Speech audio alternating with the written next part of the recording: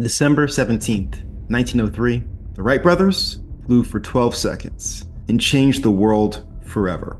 But here's what they couldn't predict dogfights, 9 11, drone strikes, because once the technology takes off, no one controls where it lands. And right now, we're making the same mistake with AI. AI won't take over because it's evil. It'll take over because everyone building it, governments, corporations, hackers, are all pulling in different directions. And when these systems collide, humanity loses the tug of war. Today, AI isn't one thing, it's a battleground. So let's meet the players. Right now, over 60 governments and 70,000 corporations are building AI with no master plan, no brakes, and when the systems collide, the takeover won't look like Terminator, it'll look like a stock market crash no one can stop. Pandemic, no one can cure.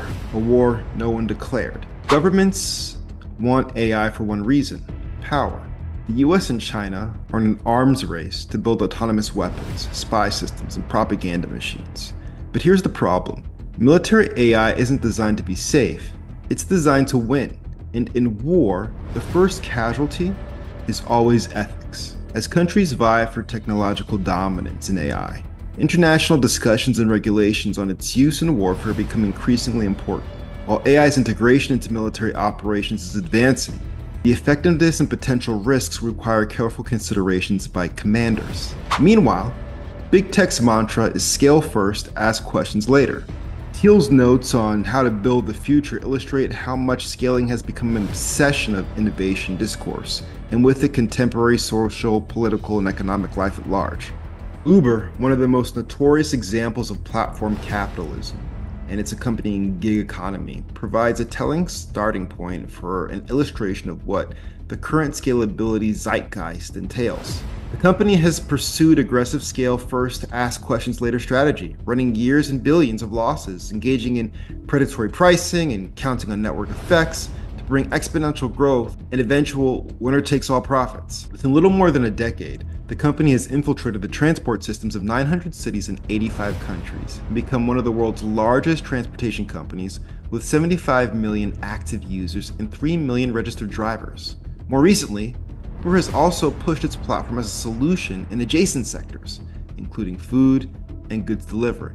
OpenAI admit their models are getting smarter, but no one knows how they work. And when profits depend on being first, safety checks deprioritized. Just ask Facebook. And then the wild card, Garage Tinkers. Right now, anyone can download models like Llama 3 and train them to do, well, anything. No rules, no oversight. It's giving every 14 year old a nuke, and hopefully they'll use it for homework. The Wright brothers thought they were inventing transportation. They did, but they also didn't foresee airlines, missiles, or 9 11. Saying we're building tools that will outgrow us. Government won't stop, they're terrified of losing the race. Corporations won't stop, their shareholders won't let them. And hackers, they're just getting started. This isn't a conspiracy, it's capitalism, it's geopolitics, it's human nature. The scariest takeover isn't violence, it's dependence, and we'll hand over our decisions, relationships, and even our memories, and thank the machines for the privilege. When these AIs collide, there won't be war of humans versus machines, it'll be Google AI versus China's AI or some kind of Estonia's AI all optimizing for different goals, all rewriting their own rules, and we'll be bystanders begging for scraps from systems that see us as irrelevant. So, how do we survive? Option one, we can perform some sort of global treaty, but let's be real, we can't even agree on climate change. Option two, ethical AI, but too bad ethics don't scale. Option three, unplug, go analog.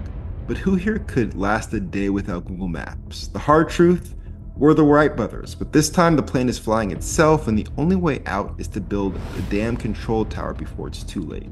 In 10 years from now, we could all be living in a world where artificial intelligence runs most aspects of our lives. AI is evolving and at an unprecedented rate, and the stakes couldn't be higher. Just a few months, we've seen OpenAI's ChatGPT reach over 100 million users. Venture capital investments into AI startups skyrocketed from just 408 million in 2018 to an astounding 25.2 billion in 2023. We're seeing a surge in both competition and innovation from large corporations, government startups, and even individuals who are all racing to shape the future of AI. Yet, The pace of its evolution raises a critical question. As AI grows more powerful, are we going to do enough to ensure that we can keep it on track? With so many competing interests at play, corporate giants with their agendas, governments with their regulations, and startups aiming for market dominance, there's a real concern that the rapid rise of AI could spiral into something beyond control. But what do we do about it? Can we safeguard AI from taking us over, or is it too late to steer the course? Artificial intelligence is no longer the stuff of science fiction, it's here. It's growing faster than anyone could have imagined. Take, for instance, the advancements made by Anthropic's Claude. AI isn't just an enhancement to our tools anymore, it's becoming the foundation of the modern economy. And yet, as powerful as it is, the driving force behind its development is driven by competing interests. Large enterprises see AI as an opportunity to revolutionize industries, streamline operations, and increase profits. Governments are looking to AI for societal progress, regulation, and national security.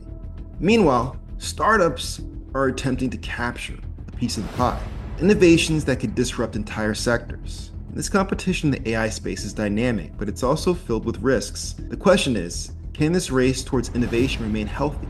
Or will it lead to monopolization by a few powerful players? Let's take a step back and look at the broader picture. The nature of foundation models, those underlying frameworks that power many AI systems, creates a scenario ripe for consolidation. These models are expensive to develop, requiring massive data sets, significant computing resources, and a depth of expertise that only a few entities currently possess. And so, what does that mean? Well, it means that the more powerful AI becomes, the more likely it is that the entire AI ecosystem could be dominated by only a handful of players. We're already seeing this consolidation with large firms like OpenAI, Google, and Microsoft. Particularly foundation models benefits from what's called increasing returns. This means the more data you feed into an AI model, the better it gets, which leads to even more data and on and on, a virtuous cycle. So companies that already have built up vast data sets. can redefine their models, they grow stronger, more efficient, more capable, while smaller players struggle to keep up. And this could lead to a few dominant entities controlling the entire space, stifling innovation in the process. The fear is that AI could be monopolized by just a handful of corporations. Think of it like this we're on the edge of a massive industrial revolution, but in this case, the question is who gets to own the factory? And that leads to an essential question what role do governments play in this rapidly evolving landscape? As AI continues to reshape our world, we need policies and regulations that ensure it remains innovative, ethical, and most importantly, under human control. In the past, this technology has advanced rapidly without enough foresight into its social impacts. The rise of big tech companies in the 1990s and 2000s was largely unchecked until the consequences became undeniable. Issues of privacy, monopoly power, and data misuse led to intense public outcry and eventually regulation. AI follow the same path, or will we take proactive steps to ensure that AI remains a tool that benefits society rather than one that controls it? Policymakers are already working on AI regulation, but it's still in the early stages. The European Union, for instance, has proposed the Artificial Intelligence Act, which aims to regulate high risk AI applications while encouraging innovation. The US has already begun discussions about AI regulation, though the regulatory framework remains much less developed. Regulation is not just about limiting power of corporations or governments, it's also about fostering an environment where innovation can flourish. If the AI market becomes too tightly controlled, it risks becoming stagnant. The challenge for policymakers would be to strike a balance between regulation and allowing dynamic, competitive forces that drive innovation. Despite the optimistic forecasts, we must also address the risks of losing control over AI. Reality is that we might be heading into an era where AI systems not only automate tasks, but start making decisions that impact every facet of our lives. And what happens when AI algorithms determine hiring decisions, medical diagnoses, or legal outcomes? These systems can amplify human biases, make decisions we don't understand, and almost certainly perpetuate inequalities. In the worst case, we might be entering an era where AI systems grow so advanced that they operate beyond human fo- oversight. Imagine an AI that can outthink, outsmart any human or group of humans, and at that point, it's not just a tool, becomes a force. Could we then risk AI becoming an autonomous entity with goals that don't align with human welfare? And this is why it's crucial that we not only develop AI with careful oversight, but also ensure that those who develop and deploy AI do so with clear sense of ethics and responsibility. This means creating transparent AI models, ensuring data privacy, maintaining human in the loop systems where AI is always supervised or checked by humans before critical decisions are made. Ultimately, the question isn't whether AI will take over, but rather how we ensure that we enhance our lives without diminishing our autonomy. For AI to truly serve humanity, it needs to remain a tool and not a ruler. To safeguard against risks of AI monopolization and misuse, we must have a mechanism in place that ensures diversity of thought, transparency, and accountability. Hopefully, governments do work hand in hand with the private sector and academia and the public to create a framework that supports innovation while preventing any single entity from holding too much power. Perhaps most importantly, we must prioritize human values in AI development, ensuring that AI aligns with the values of fairness, transparency, and ethics. As we stand on the precipice of an AI driven future, it's up to us to shape the future. AI has the potential to be a force for good, driving productivity, enhancing creativity, solving some of humanity's greatest challenges. For that to happen, we must remain vigilant. The rise of AI isn't inevitable in the way that it takes us over.